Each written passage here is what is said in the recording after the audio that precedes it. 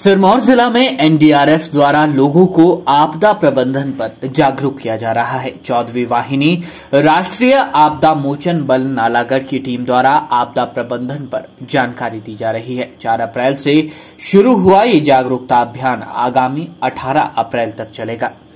Doctor Y S Parmar degree college Nahan में NDRF की इस टीम द्वारा जहाँ उपकरण प्रदर्शनी लगाई गई, वहीं कॉलेज के सैकड़ों छात्रों को आपदा संबंधी जानकारी भी दी गई। रीजनल रेस्पॉन्स सेंटर नालागढ़ के असिस्टेंट कमांडर सागर सिंह पाल ने बताया कि सिरमौर जिला में उपमंडल स्तर पर जागरूकता कार्यक्रम आयोजित होंगे जिसका मुख्य उद्देश्य लोगों तक आपदा प्रबंधन से जुड़ी जानकारी पहुंचाना है ताकि किसी भी आपदा के समय जानमाल के नुकसान से बचा जा सके। मैं आ, मेरी कंपनी इस वर्तमान समय में नालागढ़ जो कि एक रीजनल रिस्पॉन्स सेंटर के रूप में तैनात है और हम एक पंद्रह दिन का फेमेक्स एक्सरसाइज जो कि दो दिन पहले मंडे से लेकर के चार अप्रैल से लेकर अट्ठारह अप्रैल तक यहाँ पे प्रोग्राम बनाया है, जिसमें कि हम सिरमौर डिस्ट्रिक्ट के सभी तहसीलों को कवर करेंगे इस चौदह दिन के प्रोग्राम में।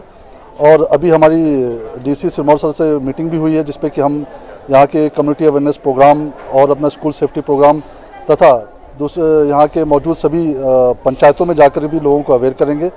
इसके अलावा जो भी इंडस्ट्रियल एरिया है यहाँ पे, वहाँ पे पहुँच करके हम जो एम एच यूनिट जो मेजर एक्सटेंडेड हज़ार्ड यूनिट्स हैं उनका भी हम विज़िट करेंगे समय समय पर। ये uh, जो फेमेक्स एक्सरसाइज है इसका एक मकसद ये भी है कि uh, हमारे पास रिसोर्स और जो डिस्ट्रिक्ट अथॉरिटी है उनके पास क्या क्या रिसोर्स हैं और हम किसी भी आपदा होने पर हम इनको कैसे इस्तेमाल कर सकते हैं और उसके कोऑर्डिनेशन और कॉपरेशन के लिए एक मीटिंग चौदह का प्रोग्राम रखा गया है।